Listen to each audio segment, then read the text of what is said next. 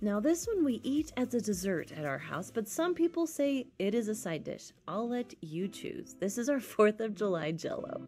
You're gonna start by boiling some water. You're gonna add some blue jello, mix it till it's all dissolved, put it in a pan, and chill.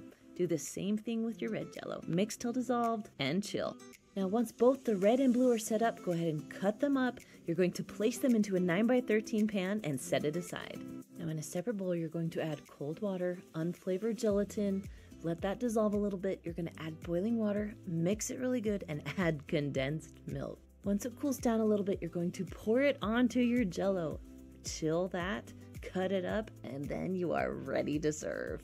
My kids love this one.